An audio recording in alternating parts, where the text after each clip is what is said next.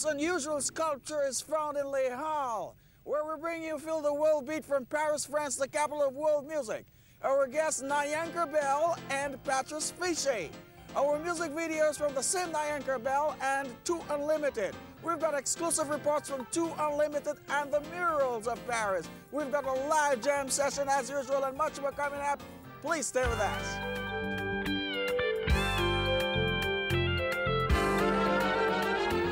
First guest is a record company executive, a company that has been around for quite a while with a significant catalog featuring artists from all over the world. Please welcome Patrice Fichet. Patrice Fichet. Bonjour Patrice Fichet. Bonjour Gordon. Pouvez-vous présenter votre maison? C'est en 1970 que Marcel Pers, qui est toujours notre président directeur général, et Michel David ont eu l'idée de créer Sonodisc. À l'époque, ils travaillaient dans une usine de duplication de cassettes et de pressage de disques, et ils se sont rendus compte que les artistes antillais et africains n'avaient pas à leur disposition de structures pour euh, faciliter la fabrication de leurs disques et assurer euh, leur distribution.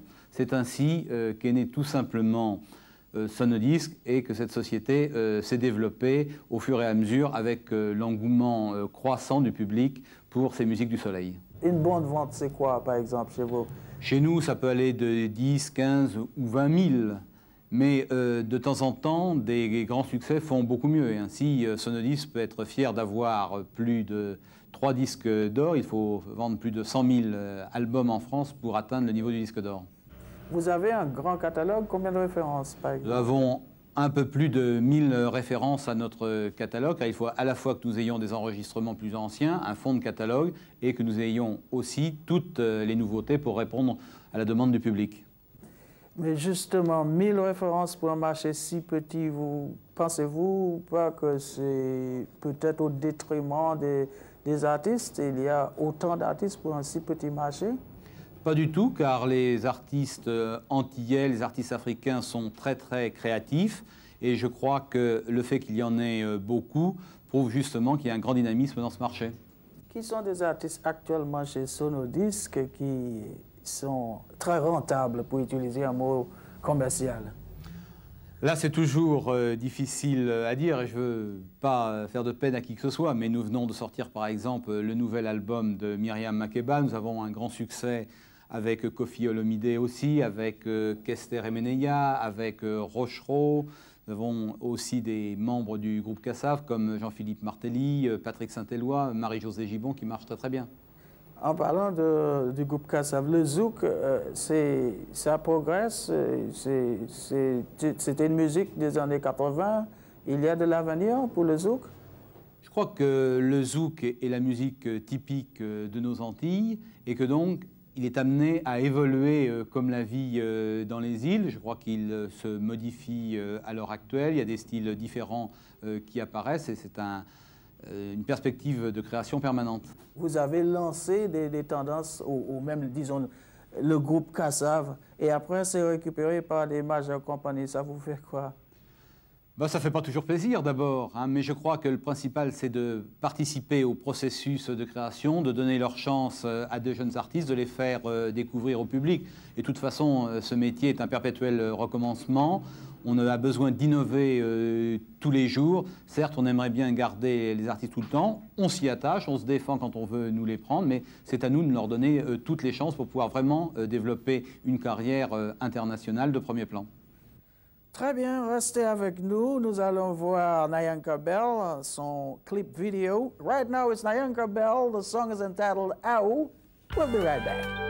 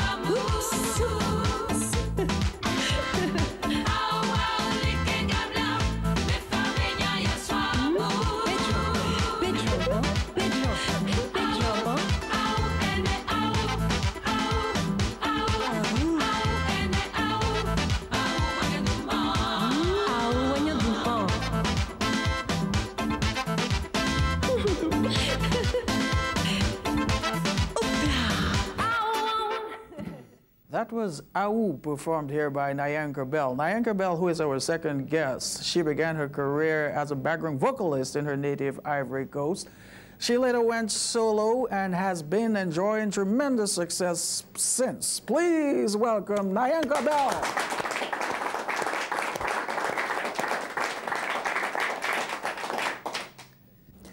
Pouvez-vous nous parler de vos origines et comment avez-vous débuté dans cette profession? Euh, de mes origines, euh, je suis métissée, mais d'origine de Côte d'Ivoire, de par mon père. Et ma mère est métisse touareg et euh, corse. Ce qui fait que, bon, ben, en Afrique, je me sens un peu chez moi dans différents pays parce que tout le monde sait que les Touaregs, il y en a un peu partout. Et puis, bon, ben, ça me permet aussi de pouvoir euh, de pouvoir euh, travailler dans un cadre beaucoup plus large au niveau musical. En ce qui concerne euh, mon- le début de ma carrière, j'ai commencé en tant que choriste dans l'orchestre de la télévision, où j'ai fait un an. Et puis, bon, ben, on m'a permis euh, de, participer à une grande émission qui était consacrée à des stars. euh, en Côte d'Ivoire, je n'en étais pas une euh, parce que on trouvait que j'avais des possibilités qui pouvaient me permettre justement, pourquoi pas, de passer à cette émission. Effectivement, je suis passée, j'ai fait dix titres dans lesquels figurait Woman in Love de Barbara Streisand, euh, Don't Leave Me This Way de Thelma Houston. Et le lendemain, euh, dans la presse, euh, c'était euh, Ah, la nouvelle euh, Barbara Streisand Black. euh, qui, euh, et puis c'était le succès et tout. Et puis après, bon, ben, je suis partie parce que je ne pouvais plus rester au sein de la télévision. Euh, c'était fini. Et puis c'est comme ça que bon, ben, j'ai commencé ma carrière. L'album Visa, vous chantez dans plusieurs langues. À travers les voyages dans les différents pays où je suis passée, il y a quelque chose qui m'a toujours écœurée, c'est lorsqu'on quitte la Côte d'Ivoire et qu'on arrive au Cameroun, par exemple, et que vous n'aviez pas pu, pour une raison ou pour une autre, euh, euh, prendre un visa. Vous êtes retenu à l'aéroport en tant que black. Vraiment, c'est lourd et c'est dur, surtout que c'est un pays tout juste voisin. Et euh, je crois que nous sommes en train, en ce moment, plusieurs artistes, moi, pourquoi pas, sommes en train d'essayer de faire comprendre quelque chose, un message, c'est-à-dire plus de visa. Il faudrait qu'on essaie de réunir l'Afrique, de faire une Afrique unie et frère, tout simplement, comme l'Europe. Et euh, c'est ce que j'essaie de défendre un peu dans cet album. Et c'est pour cela que j'ai chanté en plusieurs langues, dont le swahili, que je pense pourquoi euh, ne serait-elle pas la langue nationale pour tous les Africains. Ok, on va continuer juste après ce petit reportage. The group is called Two Unlimited. Originally, they're from Suriname and they're quite a hit here in Europe. Two Unlimited, we met them.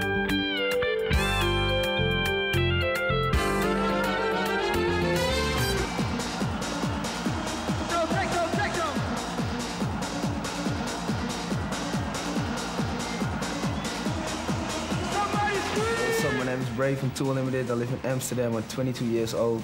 I'm Anita. I'm vocalist in Two Unlimited. I'm 22 years old.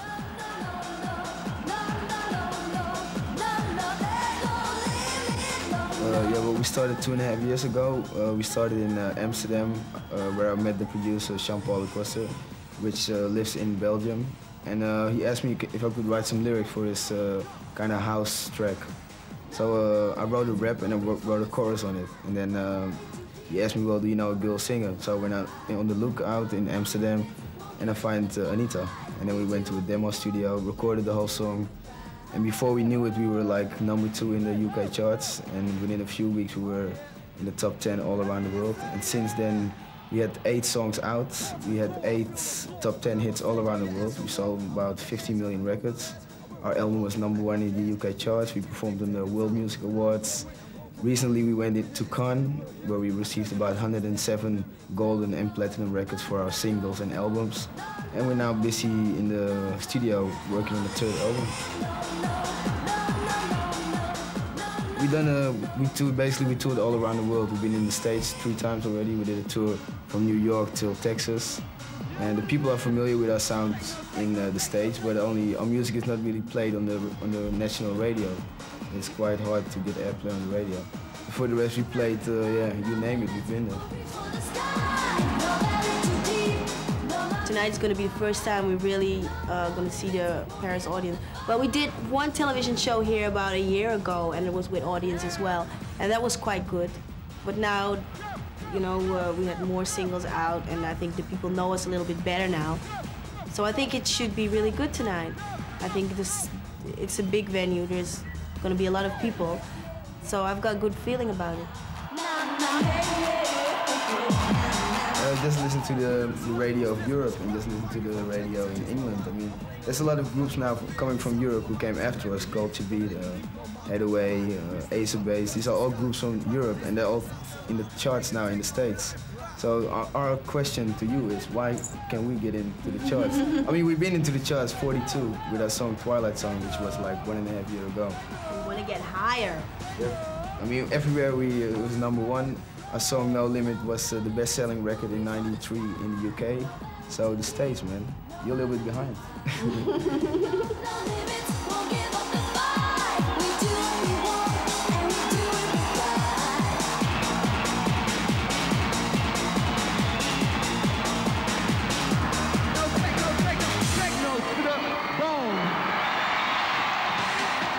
Ray. And I'm Anita. Together with Two Two Unlimited, Unlimited, and you're watching Feel, the, World Beat. Peace. Okay, that was Two Unlimited. Two Unlimited. We'll have the music video later on this program. Uh, Monsieur Fichet, le piratage, qu'est-ce que ça fait à, à Sonodisc et aux artistes euh, en général C'est une véritable catastrophe. Vous savez, euh, on ne peut créer, on peut donner leur chance à des artistes que si les artistes les plus connus permettent de dégager des bénéfices par la vente des disques. Or, le piratage est une catastrophe qui frappe euh, toute l'Afrique, qui va même jusqu'à frapper l'identité culturelle des pays, puisque bien souvent, euh, des artistes, pour pouvoir vivre de leur art, doivent s'expatrier. Donc là, il y a véritablement un problème. Il faut que les artistes et le public arrivent à convaincre les gouvernants de la nécessité de se battre contre ce phénomène de la piraterie. Et je crois que cela risque encore euh, de s'aggraver du fait euh, de la dévaluation du franc CFA. Car vu l'augmentation des prix des disques importés, car la plupart des disques compacts qui viennent en Afrique sont des disques fabriqués en France, on risque de voir euh, des pirates faire presser des disques, par exemple, dans des pays asiatiques et les importer en contrebande. Donc là, il y aurait certainement un très très grand danger pour l'identité culturelle africaine. Mais de façon concrète, en parlant de la dévaluation, quelles euh, sont les conséquences pour les ventes, le rendement pour les artistes? Ah ben, très simplement, maintenant, un disque ou un produit importé euh, de France vers l'Afrique coûte au moins deux fois plus cher, parfois même plus du fait du jeu des droits de douane. Donc là, la situation est dramatique euh, pour la musique et je crois qu'il faut absolument trouver très rapidement euh, des solutions, notamment euh, l'abaissement des droits de douane, je pense. Ben, grand, grand merci. C'était un plaisir d'être avec vous et merci encore. Merci. Merci.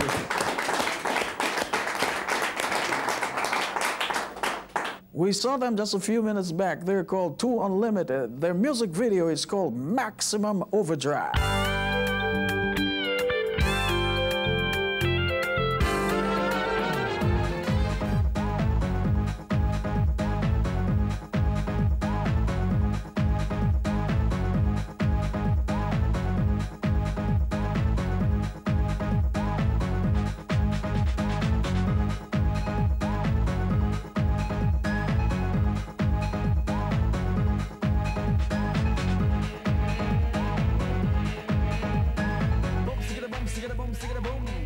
Take it on to the maximum.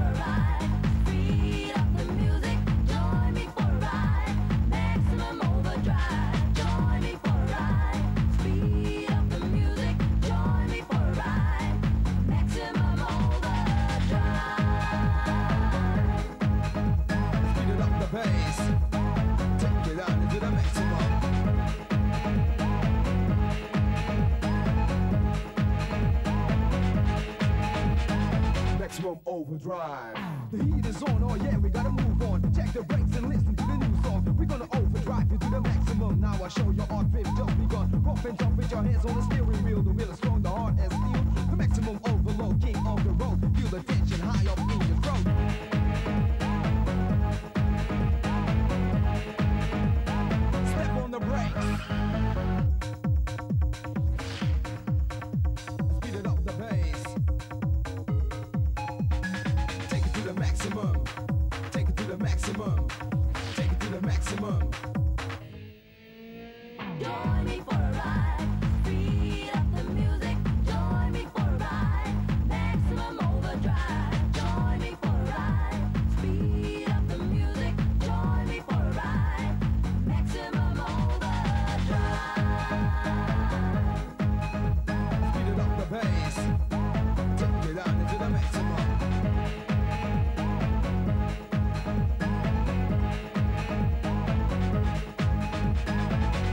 overdrive.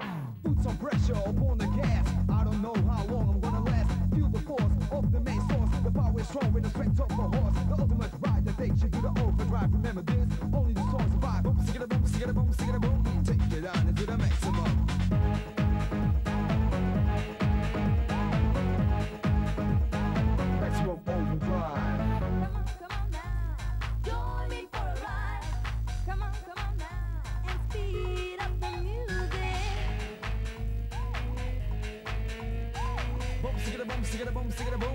It on into the maximum. Join me for a ride.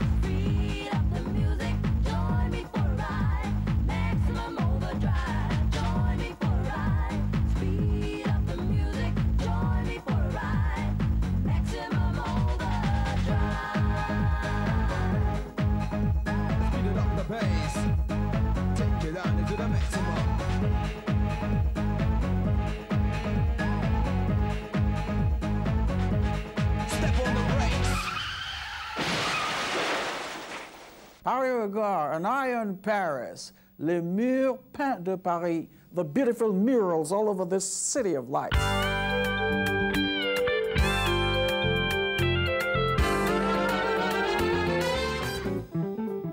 The walls of many cities have attracted graffiti art and tags. But the murals of Paris are the works of selected and paid artists. Paid to enlighten, to beautify, to advertise on the walls of the city. Il y a eu au 19e siècle et début 20e siècle de très nombreux murs peints, notamment publicitaires. Euh, Puis il y a eu un arrêt de ces murs peints publicitaires parce que la réglementation a changé. Donc à partir de 1943 jusqu'en 1979, euh, 80, il n'y a plus de murs euh, réalisés dans Paris et simplement les anciens murs ont vieilli. À la faveur de nouvelles législations sur la publicité, en 1979, le mur peint, notamment publicitaire, a pu renaître. Et ensuite, le mur peint décoratif a pris le relais à l'initiative de la ville de Paris sur son budget propre. Je m'appelle Taïne Gras. Donc je suis sculpteur et plutôt plasticienne en fait. Le côté à plat de la peinture, ça me dérange. Donc j'ai besoin de faire une forme en volume pour revenir à la peinture après. Et c'est ce que je trouvais intéressant avec les, fresques comme ça, avec les murs, c'est de pouvoir euh, faire un projet en peinture et de faire ressortir des parties en volume, de faire quelque chose de mixte. À la base, il y a le souci d'améliorer l'environnement. Et cette amélioration de l'environnement passe par des créations d'équipements, des logements, l'amélioration de- des espaces publics et aussi euh, par euh, la décoration de pignons qui sont des pignons assez sales, assez dégradés, qu'il n'est pas possible de faire disparaître par des constructions qui de toute façon resteront là et donc qu'il est prévu de traiter en mur peint euh, de manière à les- mieux les intégrer à l'environnement. Donc c'est au départ euh, le souci de l'amélioration de l'environnement. Mais ça fait aussi partie de la politique artistique de la ville, au même titre que l'installation de sculptures, d'œuvres d'art sur l'espace public. Les murs peints sont considérés comme une, intervention artistique sur l'espace public qui est nécessaire dans la ville. C'est assez agréable d'avoir un grand, grand espace qui fasse surtout partie de la ville. Moi, ce qui m'intéressait en, participant au concours, c'était de travailler euh, pour la ville, dans un quartier, avec l'animation d'un quartier, de participer à la vie euh, d'un quartier. Les thèmes des fresques sont en général laissés à l'inspiration des artistes, sauf lorsque le quartier appelle vraiment quelque chose de, de spécial, lorsqu'un un thème s'impose, et dans ce cas-là, on peut l'indiquer, mais il est donné à titre indicatif. Le thème, c'était euh, la, la presse et les finances. Et quand j'ai vu le mur la première fois, j'avais une seule envie, c'était euh, de faire des tulipes, de faire quelque chose de très, très frais, euh, très coloré parce qu'ici c'est assez, euh, enfin il n'y a pas de couleur, c'est assez triste. C'est vraiment quelque chose en opposition avec ce monde assez strict et rigoureux de, la presse et des finances. Chaque année, la ville de Paris réalise depuis 1986 sur son budget propre hein, 5, 6, 7 murs. Et nos dernières listes en dénombrent 106. Donc on peut dire, euh, environ 110 murs euh, publicitaires ou non, artistiques, décoratifs, d'origine privée ou publique à Paris.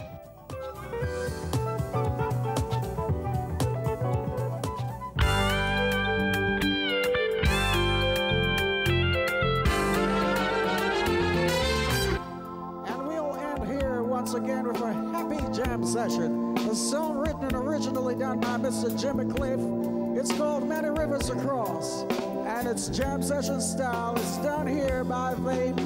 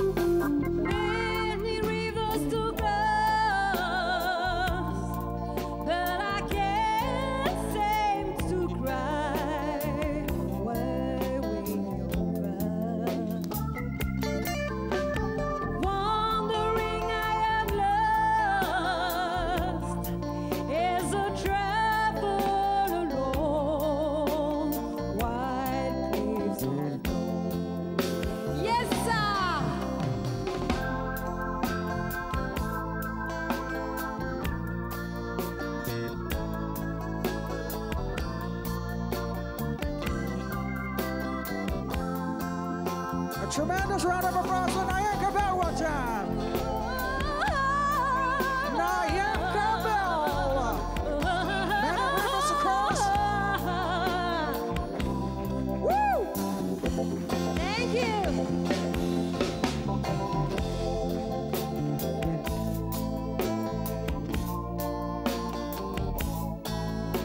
Well, that was Fill the World Beat once again. Many, many, many rivers across. Nayaka. Thank Nayaka. you. Nayaka. Thank you. That's beautiful.